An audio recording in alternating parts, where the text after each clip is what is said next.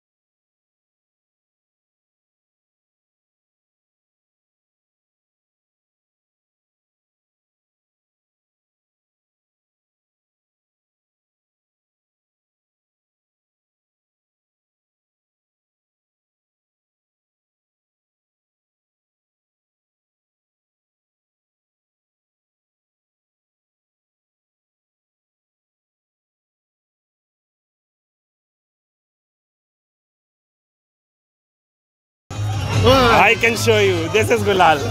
this is gulal. Okay. Basically, the dry color. The dry color. The dry color is gulal. It is generally used by hands. It is not the watercolor. But when Holi happens, gulal flies in the air. So that is why then we just themed it as gulal. What is it made of? Generally, some her- herbal things. It's organic largely these days. So, but some herbal colors and all that. And the color? You can just wash it off. It will wash off very easily.